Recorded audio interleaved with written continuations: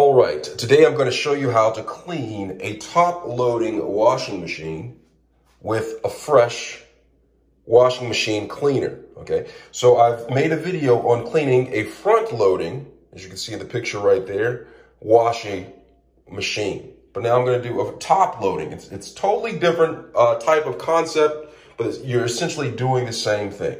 So I'm going to get started, all right? So right here, I have the fresh tablets in here. It comes in this box right here.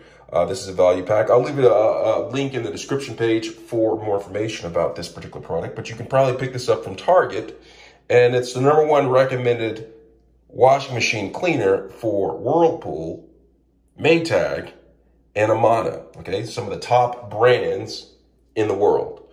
We're going to get started. As you can see, I have an empty drum right here. I am going to clean it. And what I'm going to do is I'm going to simply go inside of here. All right, I have one tablet left. Go in here, toss that. And I have a tablet. What you want to do is you're going to want to open this up. Try not to touch your hands. And just drop it to the bottom of the drum. Just drop it to the bottom of the drum. You see it's all the way down there at the bottom of the drum. So once you have the bottom the drum, you can also toss this, all right? And then you're gonna make the selection for the wash. Now what I do is, of course, you have to have it on hot, the hottest temperature you can possibly get. So I have hot, that's the hottest temperature. And then I'm going to go on this particular wash machine. There has a lot of selections right here.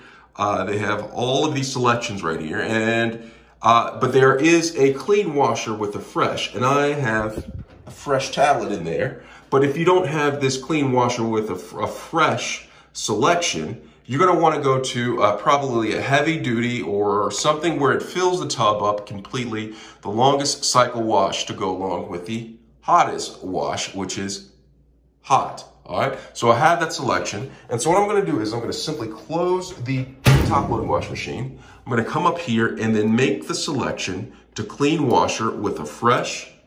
And then I'm going to come over here and press start. And that's how you wash your top loading wash machine with Affresh. Let me know if you have any questions. Thanks a lot for watching.